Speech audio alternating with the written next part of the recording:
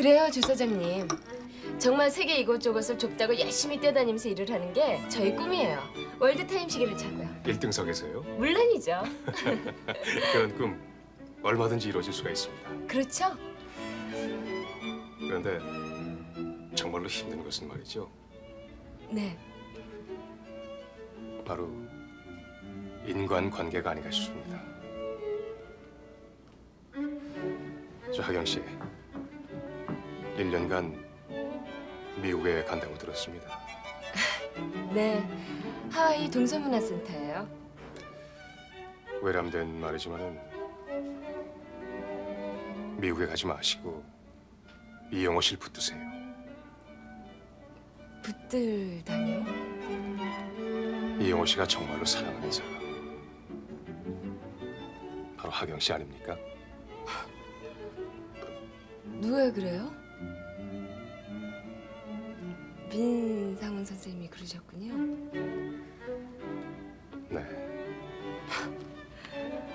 근데 조 사장님께서 왜 제게 그런 말씀을 하시는지 외람된 말씀입니다만은 제가 이렇게 말하는 거 이영호 씨를 영예로부터 떼어놓기 위해서라고 오해하지 말아 주십시오.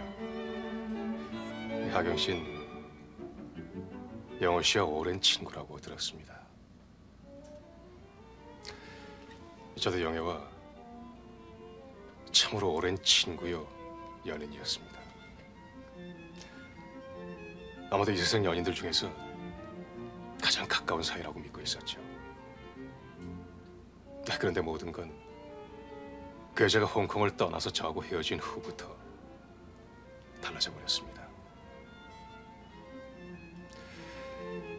이런 말씀드리는 게 정말 불필요하고 주제에 넘은 일인 줄 압니다만 다만 전 그동안 하경 씨를 알게 된 후에 뭔가 진심으로 도움말을 드리고 싶었을 뿐입니다.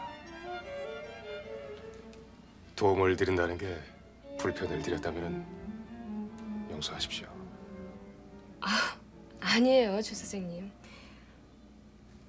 저, 조 사장님, 점심 식사하러 가요, 우리. 예?